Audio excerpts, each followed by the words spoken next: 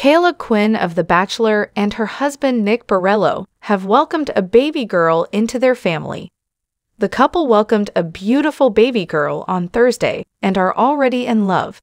Teddy Marie Burrello, their new bundle of joy, weighed 8 pounds, 4 ounces. Caila's fans and Bachelor Nation are overjoyed that she has found her happily ever after. She was eliminated in week 9 of Ben Higgins' season and left the beach with Jared Haibon on Bachelor in Paradise. She met Nick in 2017 and they plan to marry in 2021.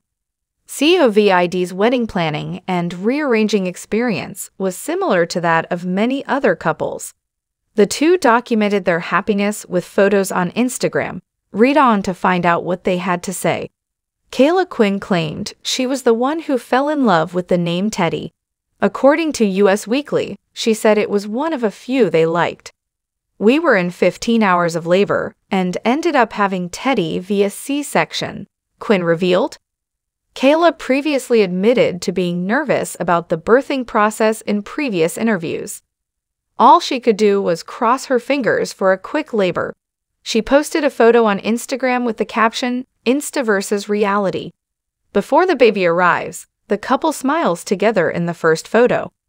Caila was clearly exhausted as she clutched her newborn in the second photo. Both images are stunning. Caila admitted that she is afraid of hospitals, but Nick makes her feel brave. More than anything, she hoped to hold a healthy baby in her arms. The former Bachelor in Paradise star was also excited to see Nick become a father. Caila Quinn wishes time would slow down so Teddy does not grow up too quickly. She described Nick as a thoughtful partner, especially in recent months. He frequently rubbed her back and filled her water bottle.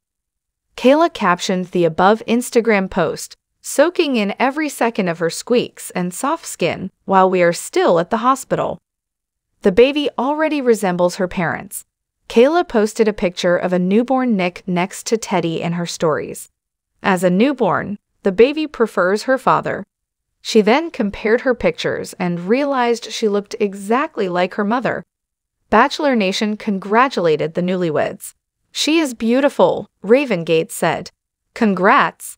Congratulations, you too, Michael Allio said. There is no better feeling than that. What are your thoughts on Caila's birth story? Other Bachelor babies can be found here.